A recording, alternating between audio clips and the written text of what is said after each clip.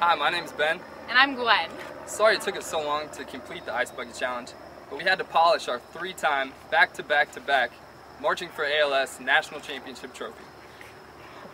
We also were helping our band director, Dave McKee, raise over $11,000 for the ALS Association. Before we dump water on ourselves, we'd like to challenge our friends across campus, the Highty Tighties, and the Georgia Tech Marching Band.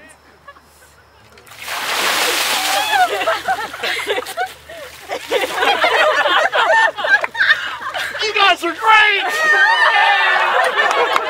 you should turn the camera away. How's that? Is that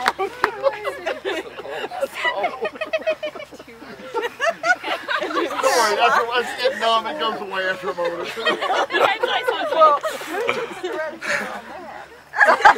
She stood up.